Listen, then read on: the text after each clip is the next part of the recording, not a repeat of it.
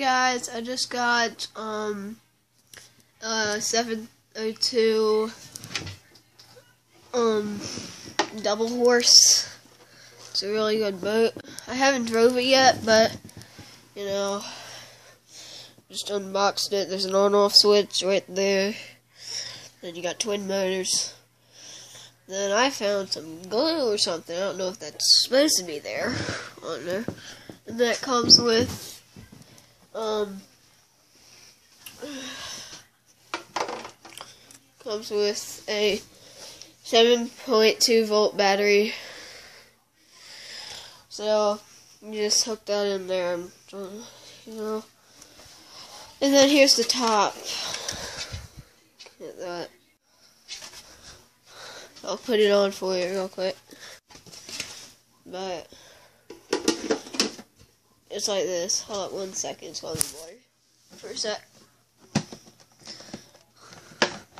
It is sort of hard to get it on, but you know. I mean, look at that thing. That thing just looks boss. Alright, now to the remote. You do have a screw on uh, ten antenna, so then you got your on off switch right there. That's a light. Then it requires eight batteries.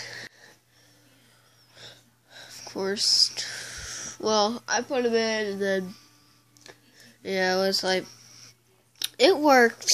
See, I'll look. I'll turn it on.